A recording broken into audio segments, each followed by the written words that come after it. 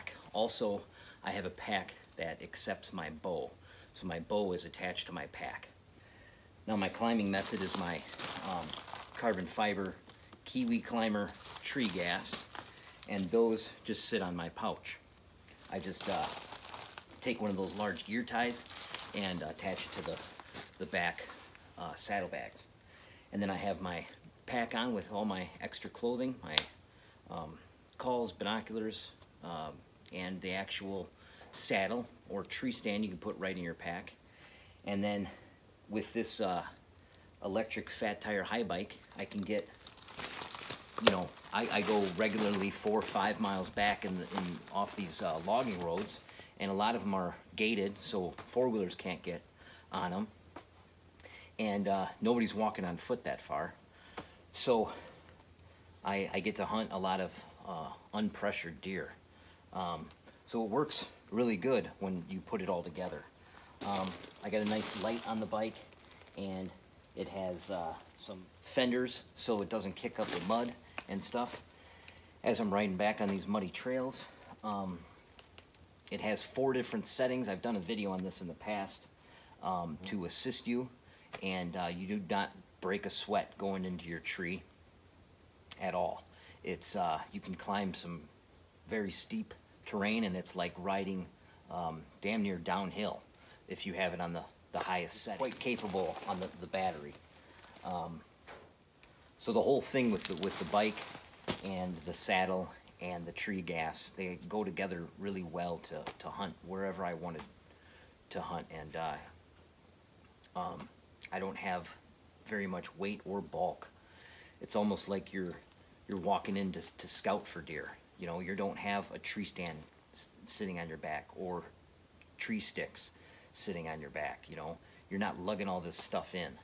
And I can go farther back than anybody on foot and it's super quiet. This bike does not scare deer at all. I've ridden right past deer and they just sit there and look at me. It's, it's crazy. It leaves no scent.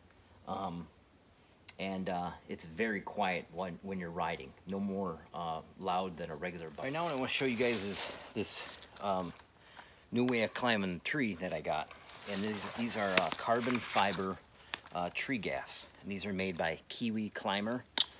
Um, they're not cheap, but they are extremely light.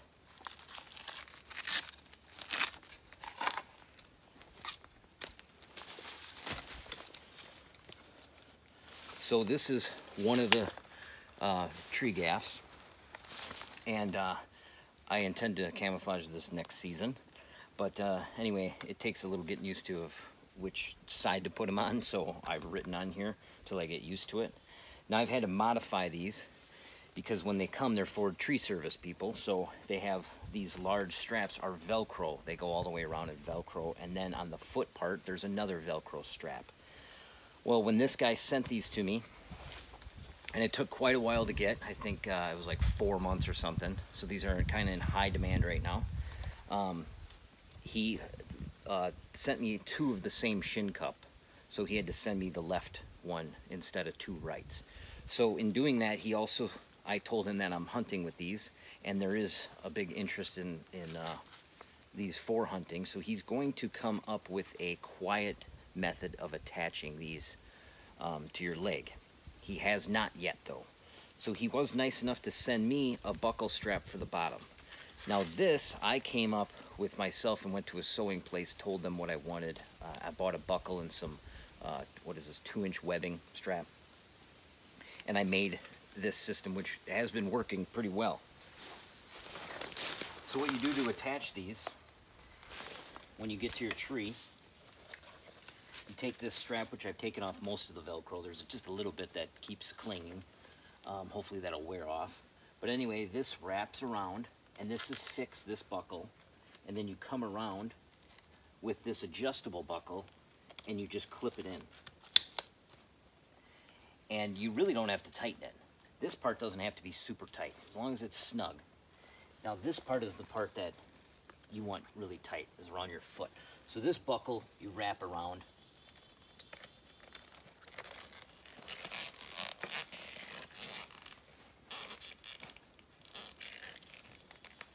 buckle yourself in.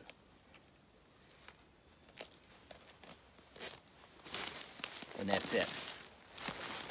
Now these weigh a little over a pound a piece, I believe. They're very light, very light. Once I get to the tree, I put both my gaffs on. I take my pack off, take my bow off, set it on the tree, put my pack back on, and then I take my gear hoist and I attach it to my bow. Attach my lineman's belt and I start climbing to, to uh, hunting height. Now this just plays out on the hoist, the bow hoist, and then uh, you can easily pull your bow up. It works really good and it's worth the extra weight and bulk to me. Now I'll show you how well these uh, tree gaffs work getting up the tree.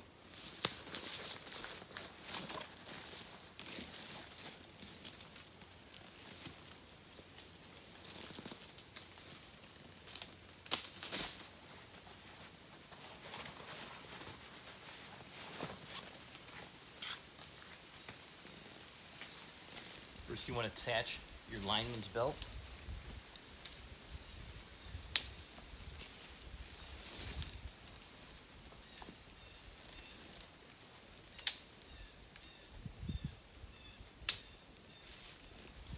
And adjust it.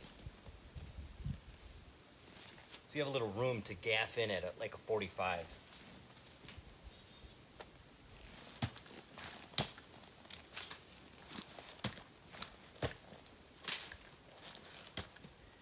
Now you can do it as fast as you want, or you're going to want to do it quiet too.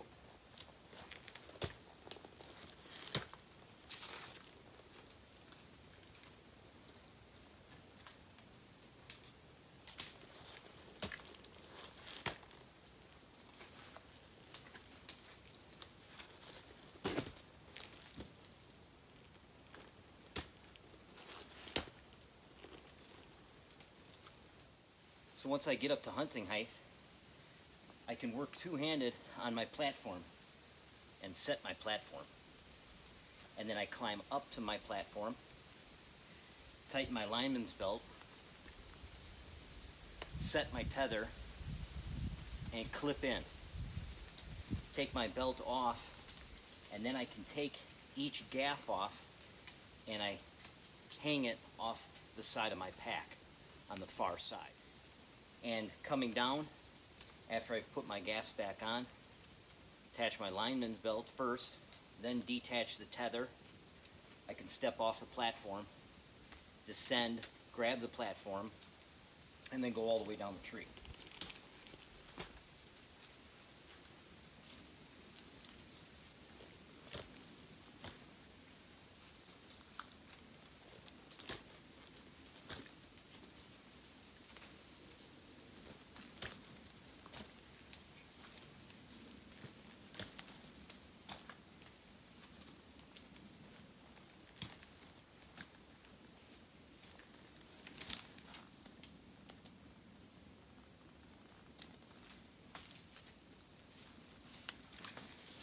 So it's very fast. You can be as quiet as you want to.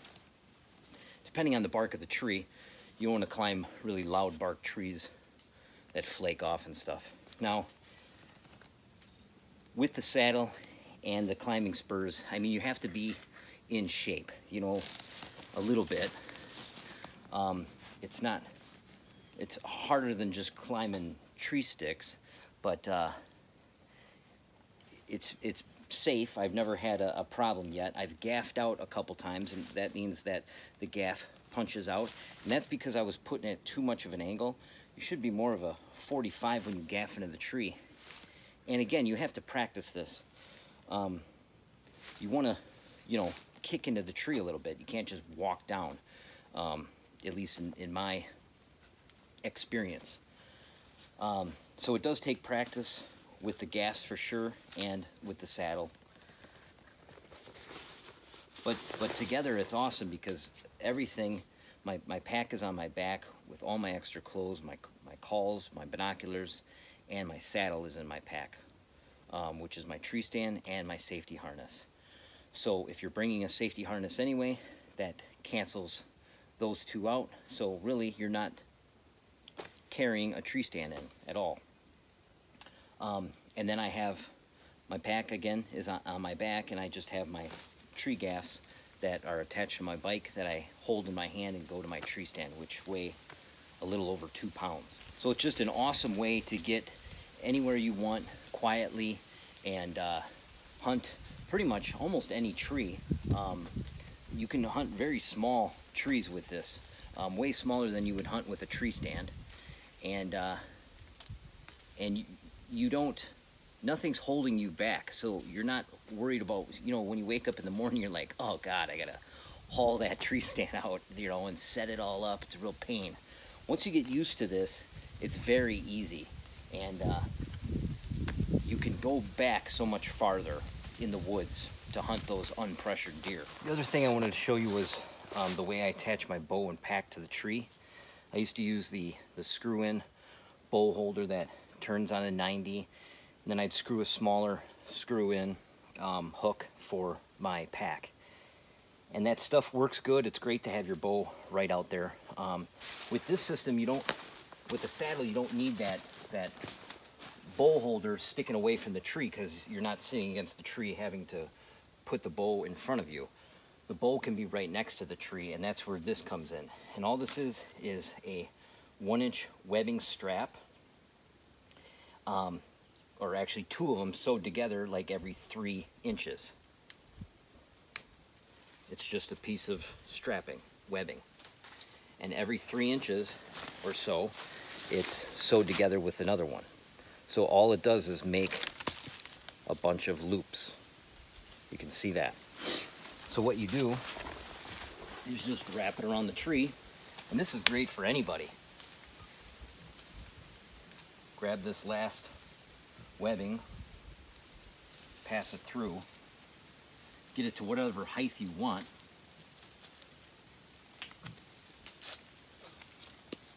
And let that dangle. Now, what I do is my pack has a small carabiner on the top and I just clip it to whatever webbing piece I want to adjust the height. And then I can move it away from me around the tree. Not only does it block some of my movement from where the deer are coming from, it's also everything's close at hand. And it doesn't interfere with going around the tree as long as you put it on your the side. I'm right-handed, so I put my pack on this side because if the deer over here, I wrap around the tree to shoot them over here, or I bring the bow around and shoot like this. And when they're over here, I don't really have to move around the tree at all to get any of these shots. So the pack being here doesn't interfere. And the other part of it to hang your bow is this hero clip. And it's just a clip with a little hook. Okay, and that's adjustable. And this can pivot. And then this can fold all the way around onto itself. And what I've done is I've taken a little cloth tape and uh, I've wrapped that around there to quiet it down. And then I clip this in one of the webbing pieces on the other side of the tree. So before my pack weights this hole all down and pulls it tight, I clip this in. And now the weight of my pack you know, cinches this down where this doesn't go anywhere once I hang my bow on it. And this hangs right in between both my limbs. Or you can hang it on your cam, you know, the hole in your cam. But that holds your bow, and this weighs hardly anything, and it takes up very little space. It's quick to um, deploy, put on the tree, um, and you don't have to, that extra grinding into the tree and getting yourself all sweated up and stuff in the tree.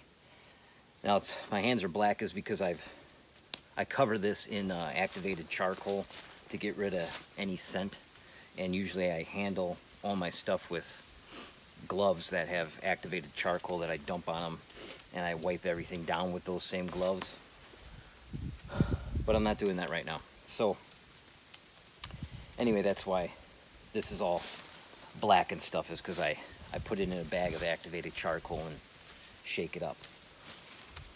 But anyway, this works great with, with everything too.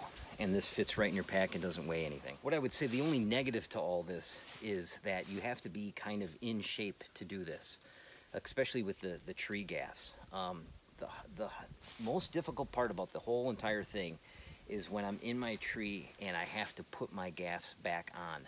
That's kind of a pain. I'm not the most uh, flexible person, so I got to get my knee up and cinch that strap down. Now, next year I'll probably come up with something other than that buckle. I might come up with a, uh, a buckle, like a snap buckle um, way to tighten them up. And uh, that'll save a lot of time and, and effort. Because cinching down that, that one uh, belt type buckle is, is kind of a pain. But uh, I'll change that next year. Um, but as far as um, climbing up the tree with gaffs, you do need to be um, somewhat in shape, I would say. And uh, the saddle itself, as long as you can climb a pair of sticks, then if you want to use sticks, then that doesn't take any more or less, uh, you know, um, you don't have to be in good shape to use a saddle.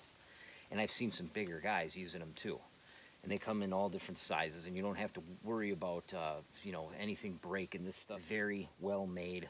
Um, they overdo everything. So, yeah, that's the whole system.